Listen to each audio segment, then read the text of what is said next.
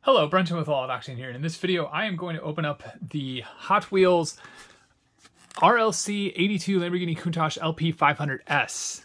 Now, this is an interesting story. My fellow collector and friend Alex, he was able to hook me up with this, and the funny story behind that is he didn't actually get it either. His dad was able to get two because both Alex and I forgot to buy it on the day it became available. I had had my alarm set and for some reason just completely forgot, even though my alarm had gone off. So I am very, very thankful for Alex and Alex's dad for giving me one of these. Check that out. 82 Lamborghini Countach LP500S in green. This thing is stunning. They're no longer numbered. Wow, that just popped right off. Well, that made it easy. Normally I struggle so bad with those. Look at that interior, this olive green paint. This will go great next to the 55 Gasser, the Flying Tiger. Man, bronze five-spoke rims. That is just absolutely epic. I will take this off the stand, but I'm just getting such good angles here. Spec 500, Countach. Wow. That is just so cool. Such an epic car.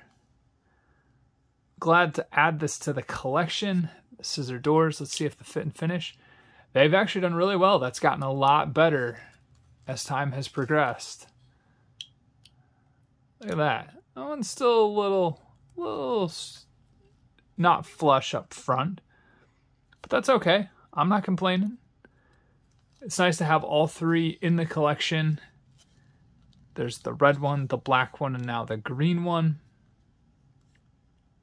And my my uh, ceiling is blue, so it kind of looks a little darker as I move it around.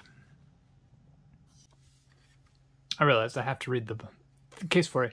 Lamborghini cars are synonymous with high-speed performance. The 82 Lamborghini Countach is one of those models that left its mark. The release of this model came with a bigger, more powerful engine than its predecessors. Design inspiration was influenced by the NATO military spec aesthetic with its olive green Spectraflame paint and matte black trim. The matte black chassis lends itself to the covert nature of this eye-catching ride. The Spec 500 license plate also references the military specification aesthetic taken on. The gullwing doors have been known to turn a few heads. When seeing this car, the only thing to say is cool, lamb bro. Okay.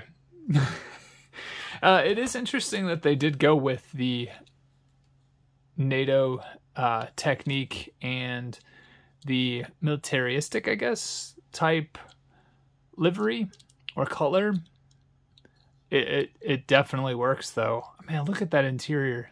It's so good looking.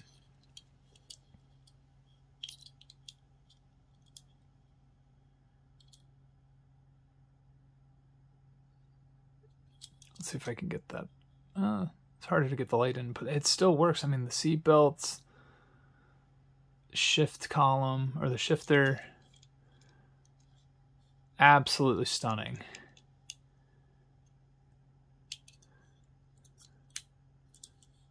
I'll get some glamour shots here at the end for you guys, but let me know what you think about this one. Were you able to get it? Did you make a mistake like me and forget?